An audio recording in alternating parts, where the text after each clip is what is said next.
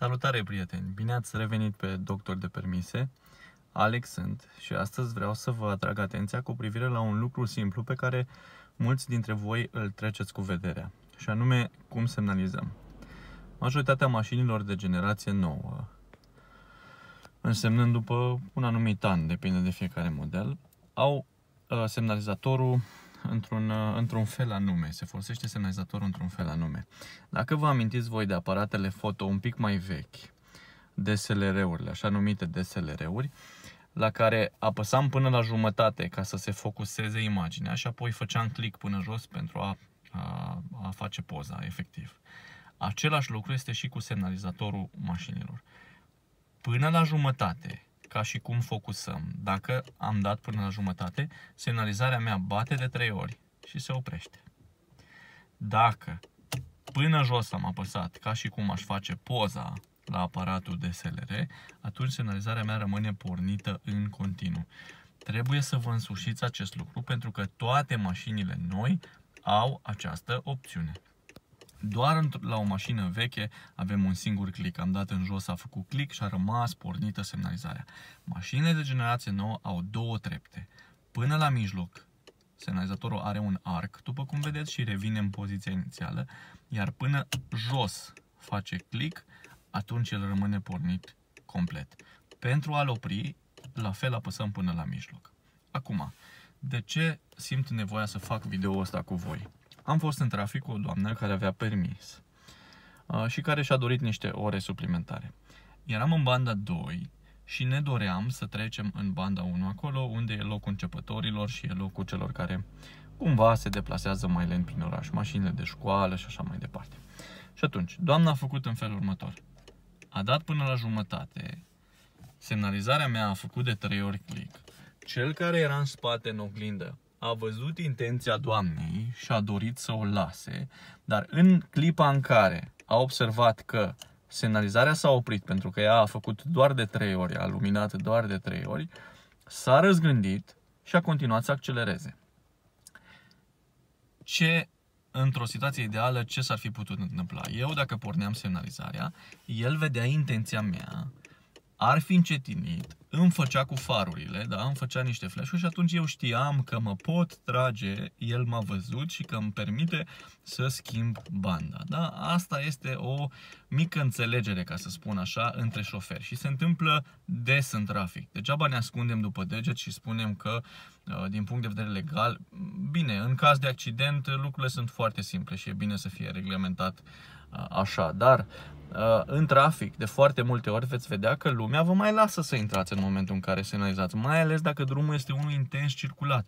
Nu o să rămâneți să blocați toată banda. Da? Cineva din uh, partea dreaptă, în cazul nostru, când am vrut să mă trag în banda 1, hotărăște, domnule, mă opresc, îl las pe el să intre ca ceilalți să-și poată continua deplasarea corect. Da? E, acest lucru s-ar fi întâmplat și astăzi dacă doamna mea ar fi activat semnalizarea până la capăt.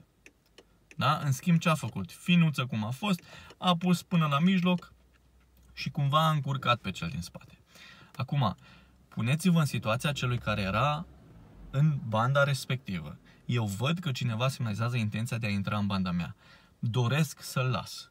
În momentul în care semnalizarea lui se oprește, ce aș gândi eu? Că respectivul s-a răzgândit.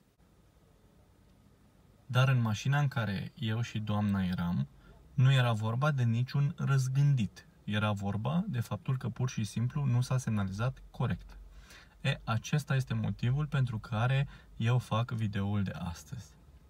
Vă rog să fiți atenți și să folosiți semnalizarea asta până la mijloc, doar în cazul în care semnal stânga, semnal dreapta, există un obstacol pe care l-am depășit relativ repede și nu e nevoie de semnalizare pusă complet când vrem să, și suntem foarte siguri că schimbăm o bandă sau intrăm undeva, semnalizarea va fi folosită până sus, în așa fel încât ea să rămână complet pornită. Acum, semnalizările ce sunt de fapt? Posibilitatea de a comunica unii cu alții în trafic. Doamne iartă-mă, este un simplu bec. Nu puteți avea pretenția ca cel din spate, printr-un singur bec, să înțeleagă ce e în gândul vostru. Da?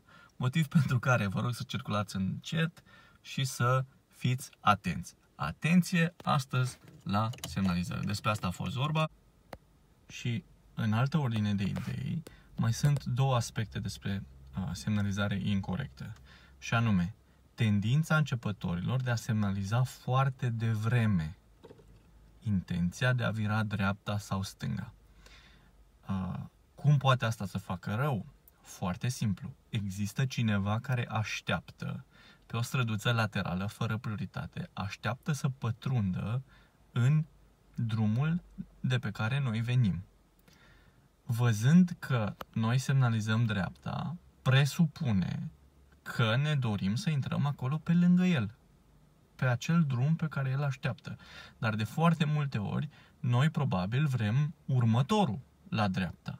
Deci, concluzionăm, să semnalizăm mai devreme poate crea o situație de risc în ideea în care cel de pe drumul fără prioritate din dreapta ne va ieși în față.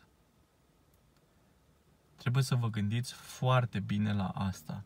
Nu semnalizați decât atunci când știți că exact pe următoarea veți vira dreapta. Reversul medaliei ar fi să nu semnalizăm deloc, ceea ce este nedrept pentru cel care așteaptă. Puneți-vă în situația celui care stă într-o intersecție, uitându-se în partea stângă să se asigure, așteaptă mașina ce se apropie pentru a-i acorda prioritate, dar această mașină face dreapta pe lângă el. Este frustrant, este o pierdere de vreme pentru toată lumea și uh, un semnal că nu ne pasă de ceilalți. Eu am discutat acum despre respectul în trafic și despre ce înseamnă să ne pese de ceilalți și fac apel la voi și vă rog și consider că e nevoie de disciplină în trafic și e nevoie să respectăm și cumva să facem un efort pentru a înțelege mai mult pe cei din jurul nostru. În felul ăsta, lucrurile în timp se vor rezolva. Eu am fost Alex cu voi, mulțumesc că mă urmăriți, până data viitoare vă doresc drumuri bune. Salutare!